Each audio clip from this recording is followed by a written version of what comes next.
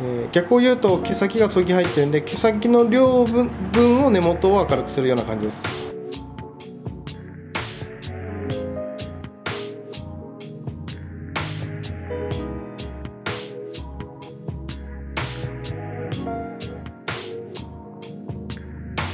はいこんにちは。札幌占い美容室早山かしの元です。ほとんどあのモデルさん選ばれてるやつがブリーチしてるカラーのスタイルに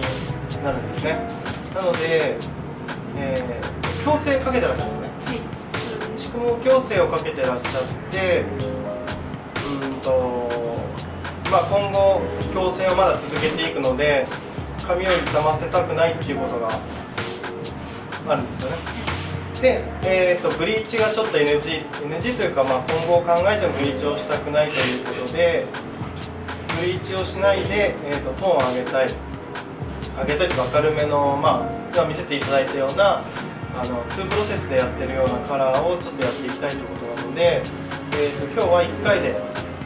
ブリーチをしないでやっていけるカラーを、えー、やっていきたいと思いますそれでなるべく明るく希望のカラーになるようにちょっとやっていきたいと思いますでは始めていきます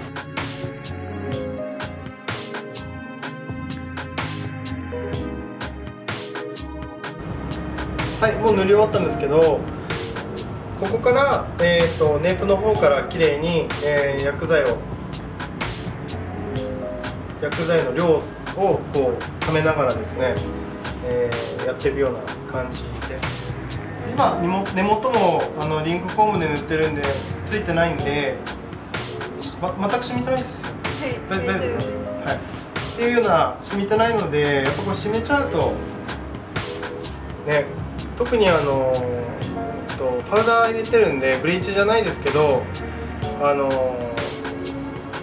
パウダーをあんまりつけちゃうと結構しつこく残っちゃうんであの流す時分かると思うんですけど結構アルカリあのああるかじゃない結構あのぬるぬるするんですよね流す時にね。なんであんまり頭皮とかつけない方がいいと思います。染みますし。なんでなるべく頭皮を外しながらやっていくのがベストかなと思います。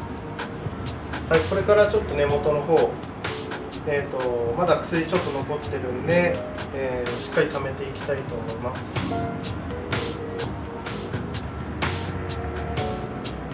でこの時に、えーと、ちょっと後ろ見えないと思うんですけど、えーと、縦にねコーミング溜めながらコーミングしていくんですけどこのコーミングした時に、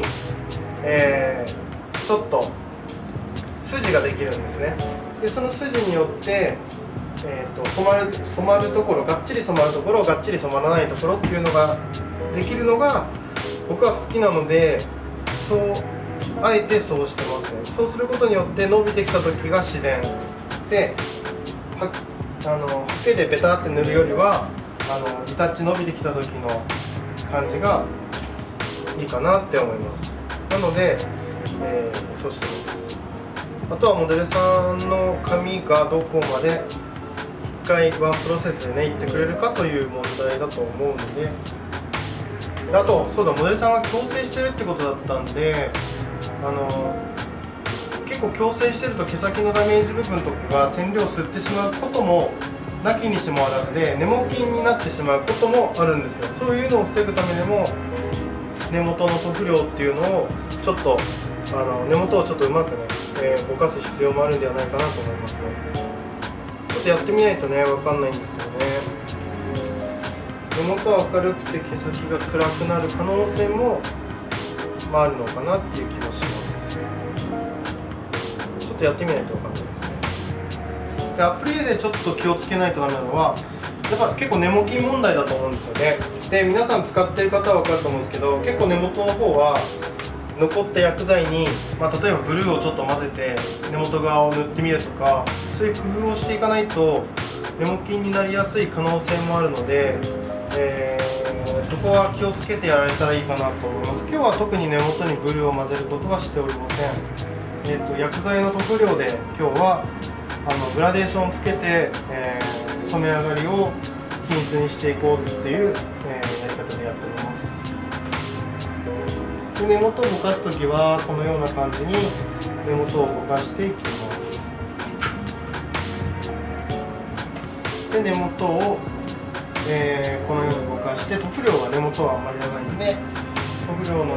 根元の塗布量はちょっと減らしてですね。で顔周りもちょっと染まりやすいんでそこは少し塗布量が薄めです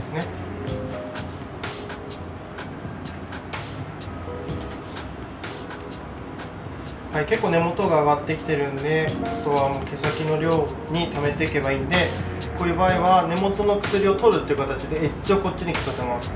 頭皮に対して90度になってるフォームをエッジを効かすことによってこの場合は手前側に薬が移行してくれます。このエッジを逆に効かしてしまうと奥に奥に薬がいく感じになります。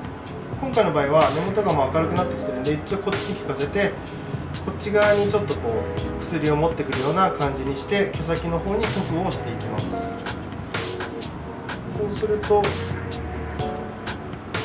えー、ちょっと根元の方とのグラデーションが綺麗に出るかなと思うんで少し薬を取るような感じですね。はい、シェイプしてなじませながら薬を毛先に取っていく。で最後はコーミングで終わることによって、えー、根元のグラデーションの綺麗さですね。はい、暗い黒い毛でやると分かるんですけどこうやった筋が出てるんですよね。この筋がベタ塗りだとないので、えー、そこだけなんかなんていうのベターって伸びてきた時もなんか平面になっちゃうしやっぱコントラストが若干あった方が本当何ミリの世界なんですけどあった方がいいんで絶対こういう風にった方が面白いかなと思います本当に分かるか分かんないかの世界なんですけどもうこだわりですよねこういう風に塗っていくことによって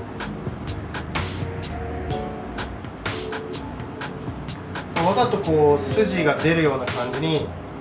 あの最後収めちゃうんですそうするとそのもううんと薬の量が多いところだけ余計に発色してくれるんでそこが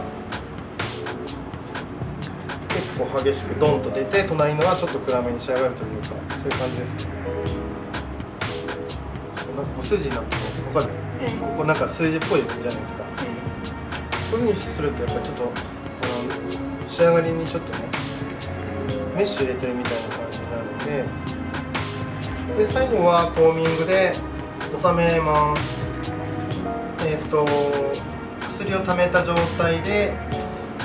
筋を作って収めていきます。でラップする時はちょっとふわっとこう浮かしていただいた方がいいですね、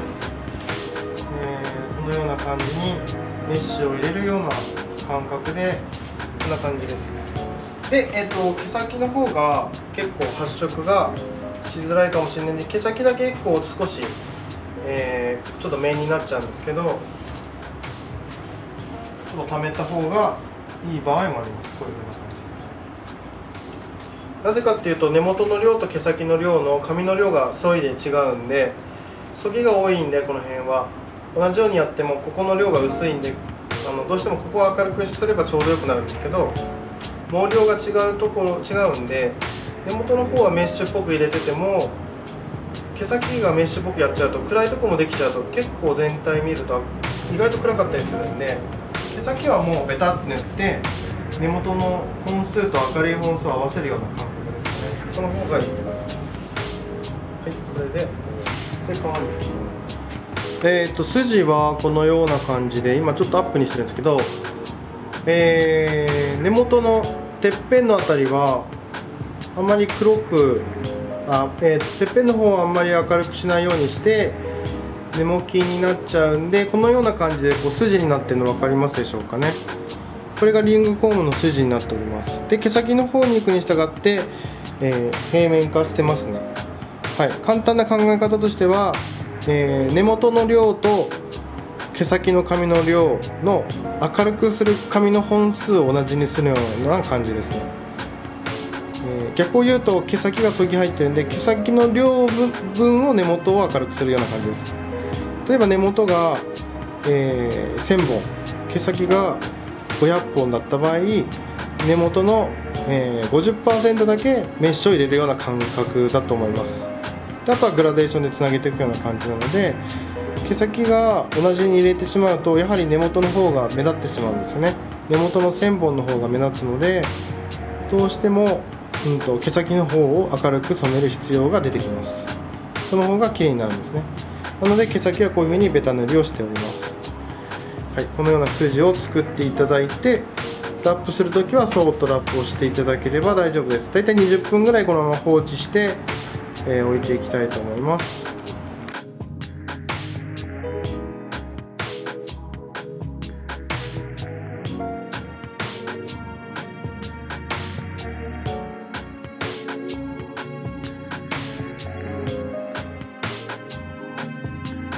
はい今日はい今日も撮影が終わりました。えー、なんとか明るく染まったんではないかなと思います。大丈夫ですか？はい。ということで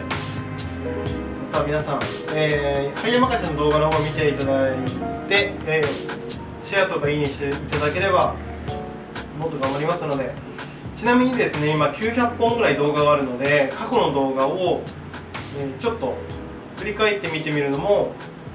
面白いと思いますので、えー、ちょっと遡っていってもらってもいいんではないかなと思います。はい。では今日はこんな感じで終わります。ありがとうございました。ありがとうございました。バイバイ